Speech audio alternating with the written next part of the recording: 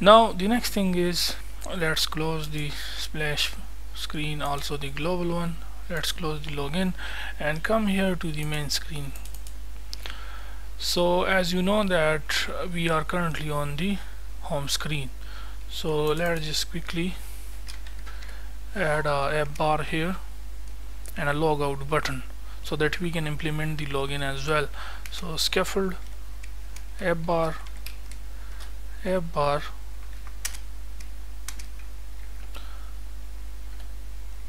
title will be in the text widget okay? We will add of course but for now let's just leave it empty center title true.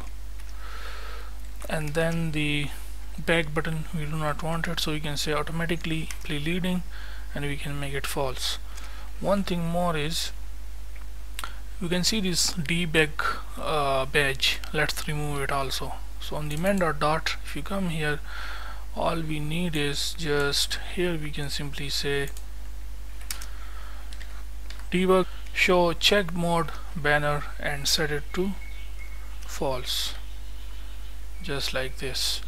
And come here to the page which is our auth screen dot dart. Here we have an app bar okay? Where we basically add our uh, gradient color okay two colors cyan and amber to our app bar okay? So we have to simply copy this all flexible space okay this one. You can also minimize it and copy it easily like this. So anyways copy it come back here to the home screen and now inside the app bar we can simply paste it okay just like this. So yeah this is the color for our app bar. If I show you it looks like this. And then also here on the main dot dart we have to make sure that our shared preferences is initialized. So we can simply say that shared preferences equal with shared preferences dot get instance. Okay?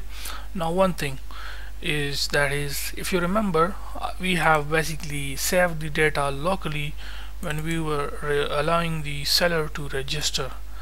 Now the reason for that is because I told you I mean more than two times. That is uh, most of the time whenever we have our most important data that basically we require to use many time in the app. So basically we save it to the local storage in order to access it easily instead of writing queries to the Firestore okay to the firebase Firestore then retrieve it and display it. It will basically it is time taken okay?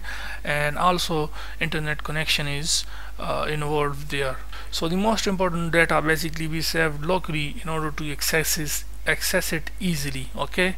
So now I will tell you how we can access this data directly okay? So this is so simple. All you need is just come here to the home screen and if you remember we have saved the following data okay? We will now access the name on the app bar from here okay? So in order to do that what we need to do? We need to simply write here that shared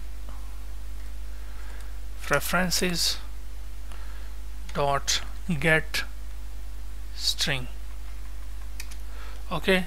And the string has a key that is which data we want to retrieve okay which we saved earlier. If you want to retrieve email you have to simply type key email. If you want to retrieve photo URL you have to simply type photo URL if you want to retrieve name we have to simply retrieve it by the same key name which is name okay. So I will simply write here name make sure to put a comma here at the end and before the comma make sure to add the null check here okay? As well as after the shared preferences. And do not hot restart okay? Make sure to click on this play button in order to load the app fully from splash screen. Here we can see now Burger King okay?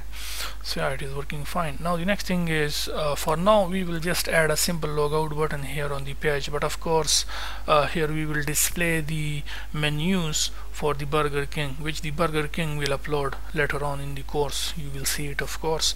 But for now let's just add a logout button so that we can implement the login with Firebase authentication in the next video okay? So let's just add quickly after the app bar we can say body and then we can say center widget child elevated button child text and the text will be so logout and then of course on the on pressed what we want to do. Also if you want you can set the color for it. But anyways we will anyways we will remove this button later on okay from here okay? We will add the logout button in the drawer. When we add the drawer here to the seller app then the logout button will be there. For, for now we are just implementing the login in the next video. That's why we are just implementing it so you can say primary and the colors dot amber okay? Or you can add the cyan color whatever color you want. So anyways now here so you can say firebase auth dot current firebase auth dot sign out okay this one.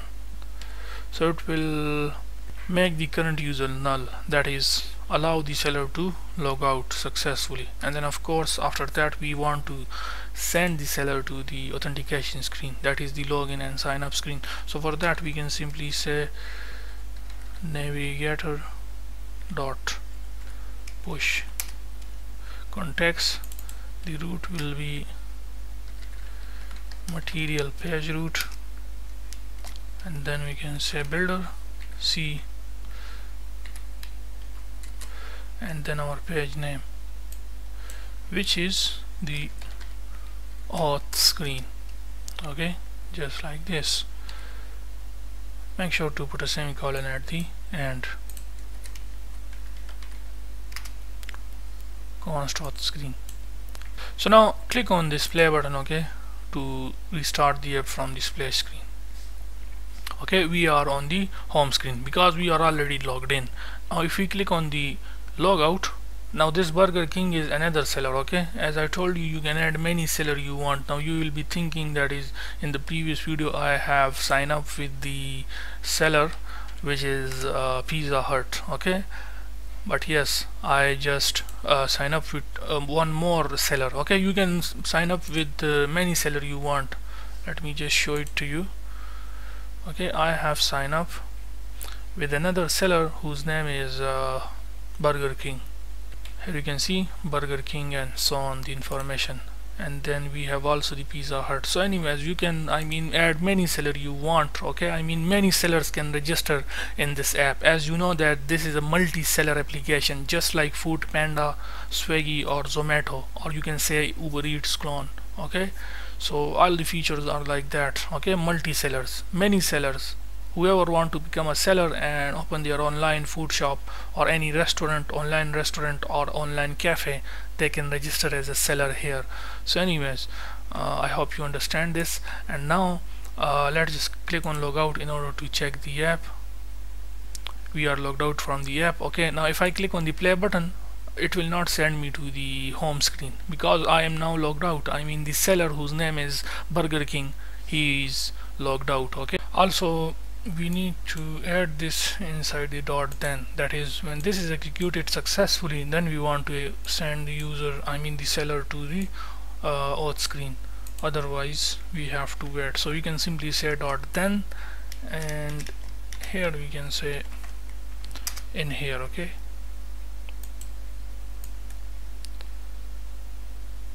Just cut this from here simply paste it here and add here const modifier. I mean the const keyword sorry. So let's just click on this play button and now let's test the app. I mean we are going to register a new seller okay? And as you know with the registration the seller will be allowed to sign in so that we can check at least that is if everything goes well or not. So I'm going to log in using this one okay? Let's this time we will give it name as uh, Italian pizza or you can I mean register as a cold drink shop or any shop you want okay? We are just testing now. So Italian at the rate gmail.com